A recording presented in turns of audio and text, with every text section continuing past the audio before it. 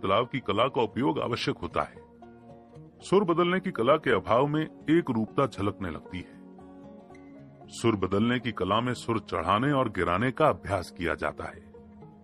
सुर से संबंधित प्रतिभा असाधारण होती है। सुर के बीच पैदा किया गया महीन अंतर का प्रभाव बेहद व्यापक होता है।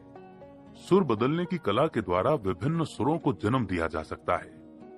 उदाहरण के लिए, तेज़ी से सुर को चढ़ाना। लंबे अंतराल तक सुर को खींचना। सपाट सुर, लंबे अंतराल तक गिरने वाला सुर, तेज़ी से गिरने वाला सुर, तेज़ी से चढ़ने गिरने वाला सुर, तेज़ी से गिरने चढ़ने वाला सुर। हिचकिचाहट।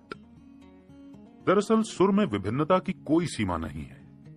इन उदाहरणों में सुर में बदलाव के सामान्य सिद्धांत, यानी सुर में उतार चढ़ाव के माध्यम से होने वाले प्रभाव को दर्शाया गया है। अलग अलग विचार और भावनाओं को व्यक्त करने वाले विभिन्न सुरों को